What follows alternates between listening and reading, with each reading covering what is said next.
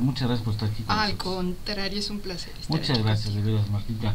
Este, y después ya tener la oportunidad siguen siguen trabajando tú y tu socio pero ya ya abrieron otro frente desde hace como que sean tres años que han, abierto el frente de Querétaro sí claro. Más o menos no estamos en Querétaro estamos en el estado de México. También y aquí en el, oh, estado de México está muy buenos frutos. Oh sí. Oh sí oh sí.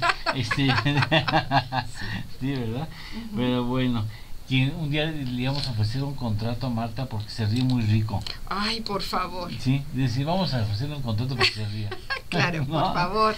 Oye, ¿cómo va, ¿cómo va el asunto de multidisciplina? Platícame un poco.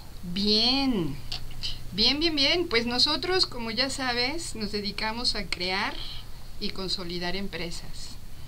Eso significa desde que alguien tiene una idea hasta que hace la empresa, vive de ella y vive bien y cambia su, su vida como la de su familia.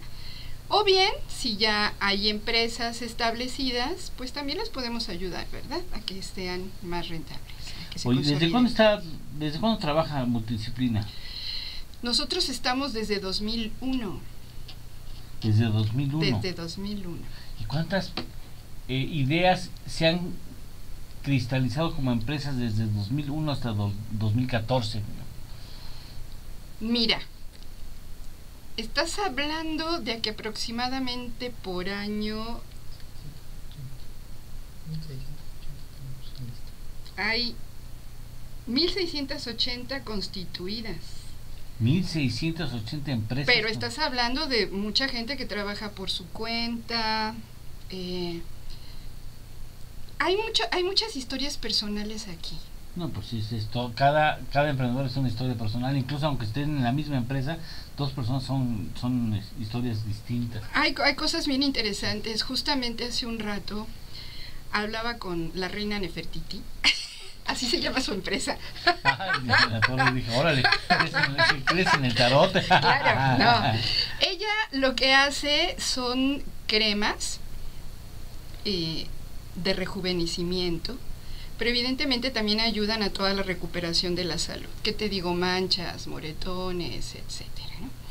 Y estuvo con nosotros en alguna expo y fue eh, hermoso que haya estado en esta expo porque de repente, por ejemplo, llegaba alguien que se acababa de caer y traía un moretón enorme en la cara, ¿no? De que se había dado. Y, y ella se llevó toda su camilla y todo lo demás y la trataba y el sujeto salía sin moretón hermoso, así, bueno, como si hubieran hecho todo un spa, etcétera. Y, la reina Nefertiti pasó por ustedes. La reina Nefertiti pasó por nosotros, exacto. Entonces fue muy interesante, pero por ejemplo, ella ha tenido altas y bajas. Ando con todos. Claro, entonces tiene un esposo que estás hablando de que tiene cerca de 90 años, que ahorita ya está incapacitado, etcétera. Y pues está sirviendo de enfermera. Entonces, su empresa sigue ahí y todo lo demás, digamos, sobrevive, pero ya no está en crecimiento.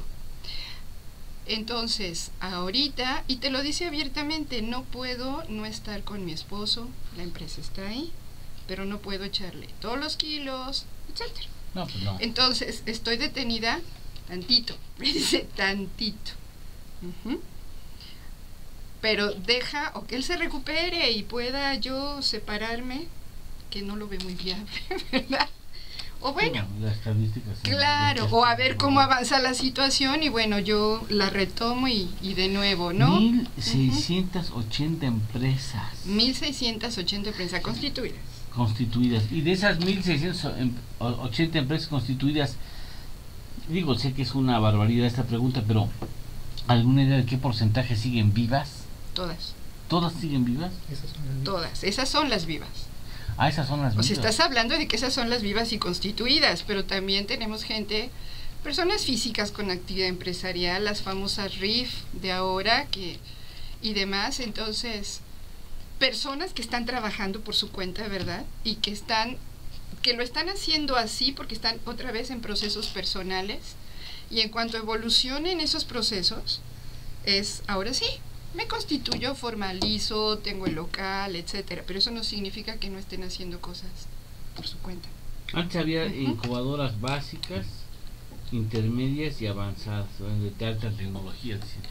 y después vino un proceso de certificación, después no sé cuántos años en donde no sé, prácticamente dos sexenios, ¿no? En donde no se había tocado los procesos de famosa certificación, viene en el actual gobierno empieza la lucha por la certificación. Entonces dieron chance que no solamente las que estaban se certificaran nuevamente o se les concediera o no la certificación, sino también entraron incluso personas que aspiraban a ser incubadoras que en su vida habían, eh, habían trabajado en los procesos de incubación. Y después hasta donde yo sé recientemente porque los cambios han sido muy vertiginosos eh, o al menos pretenden así serlo eh, después vino ya son incubadoras incubadoras tradicionales. Incubadoras incubación y de alto impacto. Ya son dos no alto impacto pero no puedes tú ejercer el alto impacto. No cualquier incubadora puede ejercer el alto impacto, tiene que haber sido certificada como incubadora de alto impacto. Así es, y no puedes hacer las dos cosas. No puedes hacer las dos cosas. En teoría, o pues, eres básica o eres alto impacto.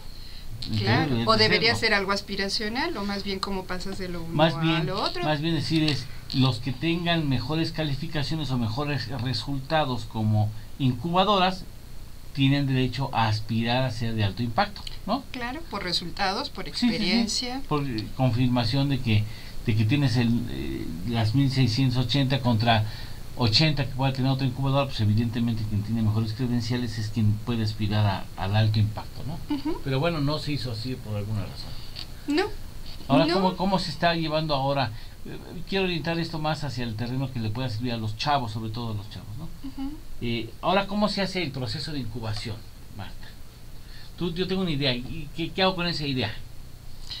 Lo primero que tenemos que hacer es cómo te llevo a que sea un concepto, y que no se quede en idea. Es decir, cómo lo aterrizo para que sea una verdadera necesidad social. No que se me esté ocurriendo. ¿Cómo empato mi idea con las necesidades sociales. Porque si es así, pues evidentemente la gente me va a comprar. Si no, la idea suena muy bonito, pero no nadie va, a, consumir, no va a tener mercado. ¿Cuánto lleva este proceso? ¿Ustedes les ayudan a tener, a pasar de la idea al concepto? Sí, claro. ¿En cuánto tiempo se pasa? Claro que cada caso es distinto, pero más o menos, ¿qué tan doloroso es el parto de la idea al concepto? De una semana a 15 días. ¿Sí? Menos de un mes, digamos. Menos, de un mes. menos de un mes. Así es. Menos de un mes. Y, eh, o sea, ya el concepto implica considerar que hay posibles compradores que pueden estar o no conscientes de que tienen esa necesidad que se satisface con ese producto o servicio. Claro, pero además implica que tú vayas a la calle a que te conste. Es decir, que entres en contacto con las personas, que observes si de veras no, no solo es un pensamiento o no es una construcción de, de escritorio, que toques a las personas, que te conste que es así. Y en efecto, lo idóneo sería saber véndelo, A ver si es cierto que provocas un interés en las personas. Es bien diferente a que yo esté fantaseando con un segmento de mercado sacado de una estadística, a que me conste que la gente lo quiere comprar. Y eso implica llevarte a la realidad. En ese sentido, no solamente es el concepto de negocio, ahí empiezas a moldear a la persona que entra contigo. Si tú no haces una modificación del perfil de la persona, de sus actitudes, difícilmente lo vas a llevar a que toque la realidad, por ejemplo, a que vaya, a que se enganche. No, no es tan simple.